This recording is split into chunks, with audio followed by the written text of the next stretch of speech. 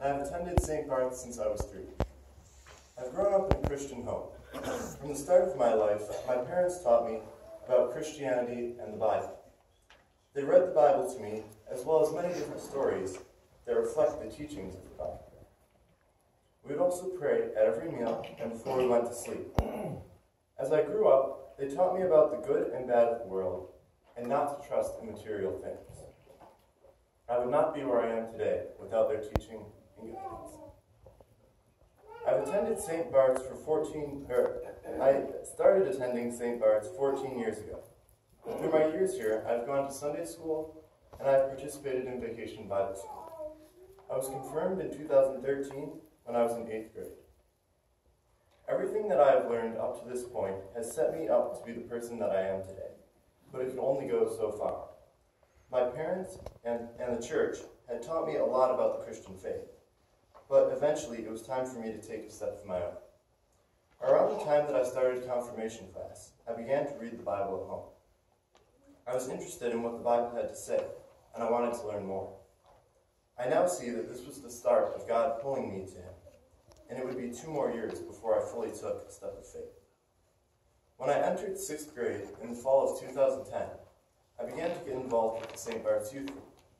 Although youth group was great, and I did learn a lot about the Christian faith, I stopped attending meetings.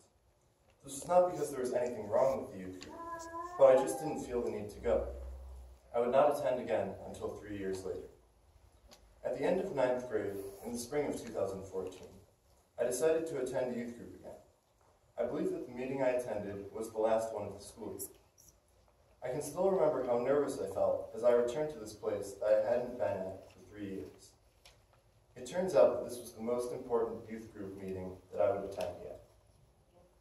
After the meeting, my mom and I were talking with Deacon Reeds, and he mentioned that there are a few spots still open for Kingdom summer. I never considered going to Kingdom Bound before, but now that I had the option, I decided to go. It turns out that there were just enough spots left for my mom, my sister, and I, and we realized this was more than a coincidence. This was the year God wanted us to go to Kingdom Bound. Kingdom Bound 2014 was the place where I finally began to know God, as, uh, to know God on a more personal level. I can still remember how the words of the singer at the concert on the first night had moved me, and how I was continually moved by what I experienced over those four days. Through those four days, I learned about God as more than a ruler in the sky. I learned that He loves me, and He wants me. Kingdom Bound 2014 was where I fully committed my life to Jesus, and this was just the start of my walk with God. After Kingdom Bound, my life changed. I had a new passion to serve God, not just because I had to, but because I wanted to. Before Kingdom Bound, I did not listen to music, and I hated singing. The most I listened to were soundtracks for Star Wars and the TV show Merlin. After Kingdom Bound, I began to listen to Christian music and radio. I began to buy CDs from many different Christian singers, and I couldn't get enough. As I listened to this music, I began to learn more about God and the teachings of the Bible. The music also changed me in another way. Um, as I said, as I said, I hated singing, but as I listened to music, I began to sing along. At first in my head, and then out loud. It wasn't until this past Christmas pageant that I actually sang in front of a group of people, and this was something I never thought I would do. So don't tell me that there isn't a God. In 10th grade, the year after I attended Kingdom Bound, I became involved in my school's Bible club. Here, along with Deacon Reeds and a teacher at my school, I developed my faith by reading and studying the Bible. It wasn't enough to keep this passion I had for Christ in myself. I wanted others to know. The main way that I did this was by incorporating my faith into my schoolwork. For example, I wrote an essay in English about the Gospel of John. In 11th grade, the Bible Club membership, Bible Club's membership grew. Because of this, we were able to do more to promote the club in school. The biggest event that we ran was a showing of the movie God's Not Dead in the school's auditorium um, on Friday evening. We put a lot of work into this event, and while only around 20 people showed up, we ministered to many others while promoting the event in school and talking to those who asked what was going on in the auditorium while we were showing the movie. In school, I worked to incorporate my faith more and more into everything I did. I noticed that as I did this, people began to realize that I was a Christian. About halfway through the year, I began to carry a Bible around with me through school.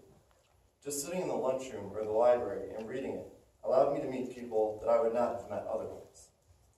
I began to incorporate my faith into Boy Scouts as well. I would plan and run a religious service at every Scout event that I would attend.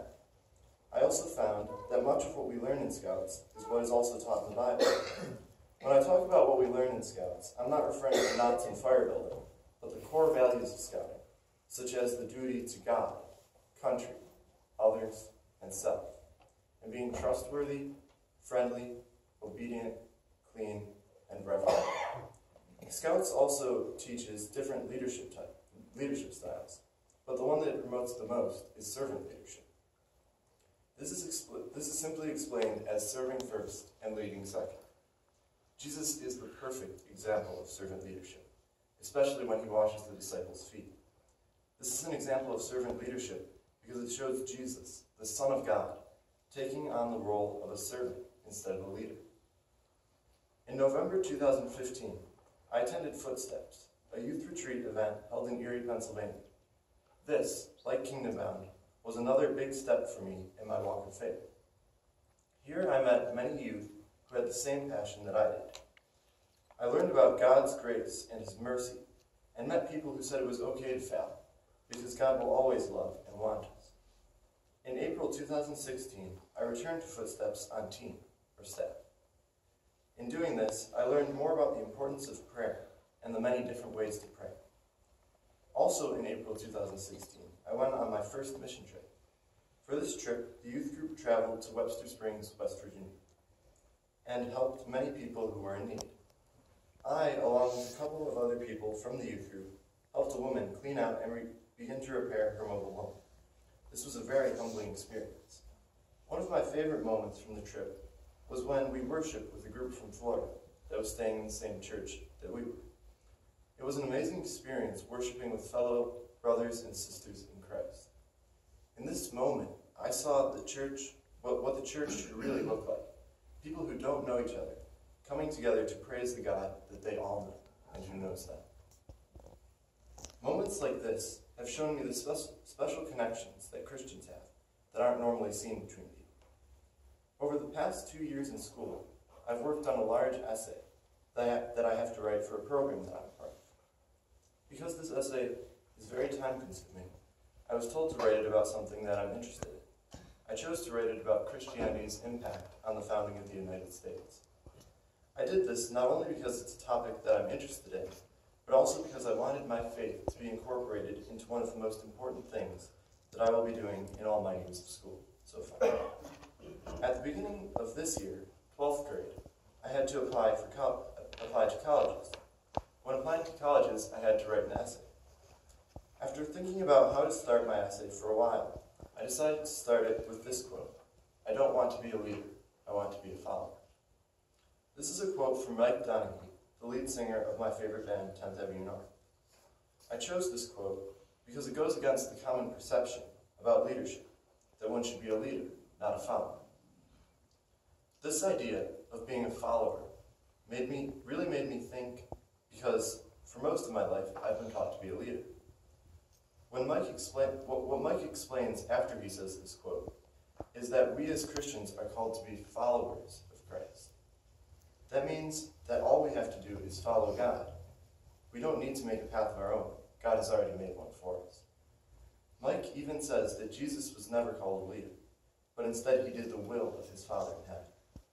I chose this quote because I want whatever college I go to to know about my faith and that I want to live as a follower, not a leader. Through these past three years, since Bound in 2014, I have found some people who are interested in my faith and others who make a joke out of it. There's a song by the band Sidewalk Prophets called Something Different, and it talks about there being something that makes Christians different from other people, and that people notice this. Therefore, I'm glad whether someone is interested in my faith or making a joke out of it, because it means that I am being something different. It means that I'm showing people what I truly believe. There's a book that my mom read me as a child called With You All the Way that I find myself thinking about a lot. It's about three knights who are given a quest by a prince to travel to the king's castle. He says that whoever reaches the castle first will have the princess's hand in marriage. To reach the castle, they will have to, have to travel through a dark forest. The way to get through the forest is to listen to the song, sung that the king plays on his flute. The problem is that there are beings in the forest that all play similar songs. The only person who knows the same song as the king is the prince. Each of the knights has their own unique ability, and each are allowed to bring one companion with them.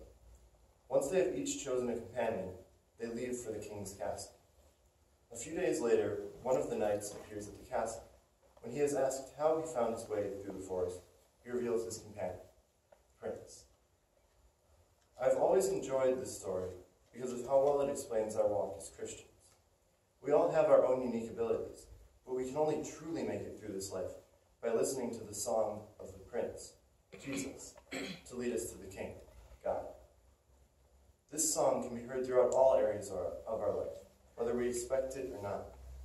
It is heard in the Bible, through the singers and speakers who share about Christ, as well as the least of these, and those we don't think it will come from at all. My goal in life is to listen for Jesus playing the Father's song, because I know it's there, for he is with us all